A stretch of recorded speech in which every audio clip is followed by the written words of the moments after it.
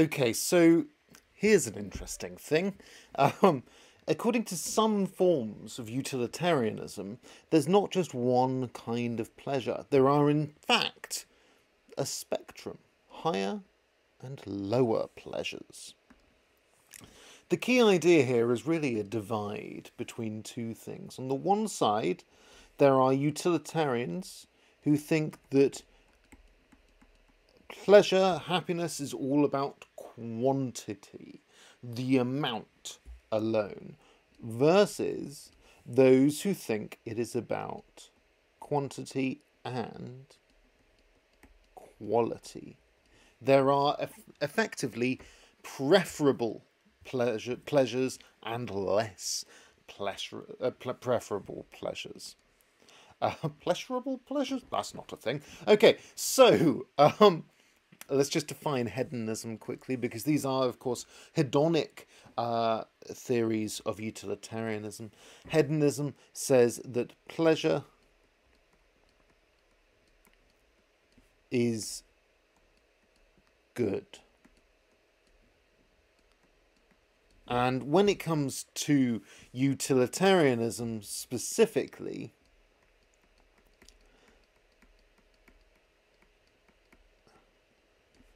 we have this idea that pleasure is the same as happiness.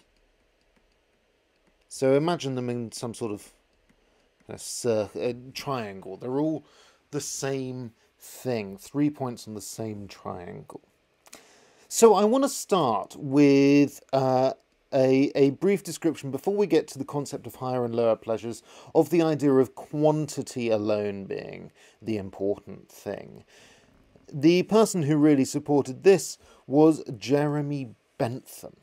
Now, Bentham thought that all pleasure, no matter what it was, is the same amount, is, is the same kind of thing. It's just a reaction. But you get different amounts from different things, but it's all about quantity. They are all equal in quality. As he says, prejudice apart. So this means, you know, apart from prejudging things, not prejudging things, the game of pushpin is equal, is of equal value, and that's important. They're the same kind of quality to the arts, sciences, music, and poetry. In other words, we might think that uh, things like art and music and uh, books and so on are, because we've been told to think, the preferable kind.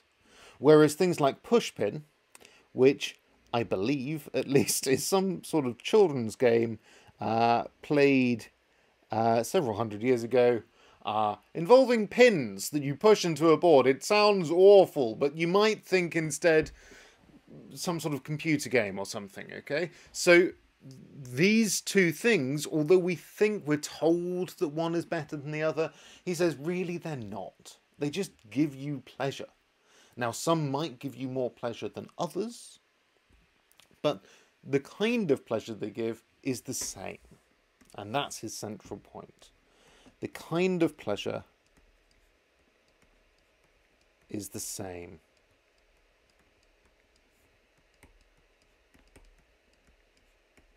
When prejudice is taken out. So the only thing that matters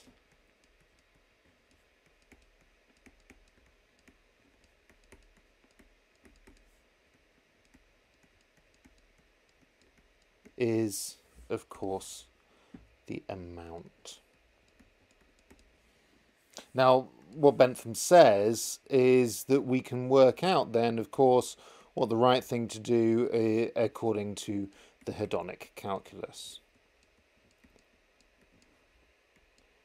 Which takes into account things like duration uh, and likelihood and, and how many people it affects. Quality, though, you'll notice is missing from the hedonic calculus, from those seven rules. Now, I want to compare this with John Stuart Mill. John Stuart Mill, who was uh, the uh, student of Jeremy Bentham, uh, Bentham's uh, godson, in fact, uh, James Mill and Jeremy Bentham. So James Mill was J- John Stuart Mill's father. Uh, Bentham and Mill were very, very good friends and oversaw the education of John Stuart Mill. Uh, John Stuart Mill was a great genius, um, but he believed that there was fundamentally a difference between different kinds of pleasure. He wrote this.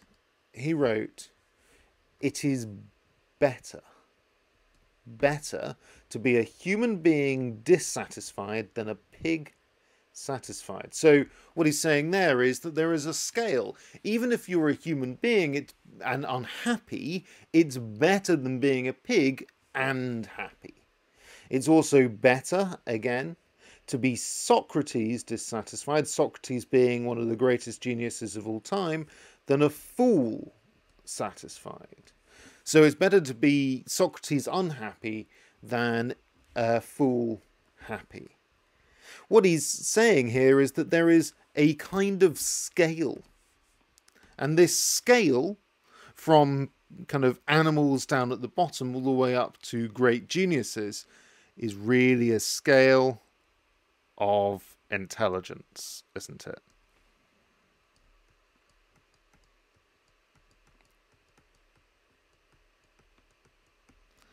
He thinks there are higher and lower pleasures. And one way of describing this is that higher pleasures are those of the mind. Remember that Bentham made this distinction between the two uh, and said they're all the same? Well, Mill would say no, no, they're not.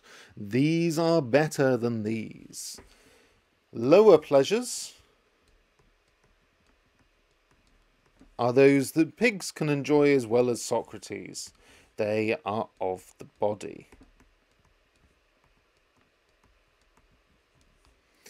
So, why does he think this? Well, why is a very interesting question. Essentially, he thinks this because we would probably prefer to be a human than a pig, even if that pig was extremely happy. We would prefer to be a human rather than a pig. And why would we prefer to be a human rather than a pig? Because we're capable of more rational thought, more interesting kinds of thought. The final question that you probably have uh, in regards to, to Mill is how on earth do we decide between the higher pleasures and the lower pleasures? Well, we decide which ones go into which category. So between between uh, higher and lower this way. We get together a group, a group of what he calls competent judges. And these competent judges, one of whom seems to be floating in midair and much shorter than the others, um, maybe he's behind Let's say it's a perspective thing and not a bad drawing.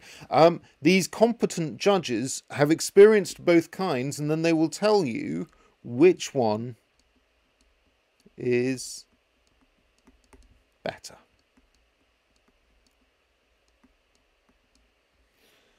And whichever one is better is the higher pleasure because the higher pleasure, remember, is the preferable one even if there is less of it. There we go, higher and lower pleasures.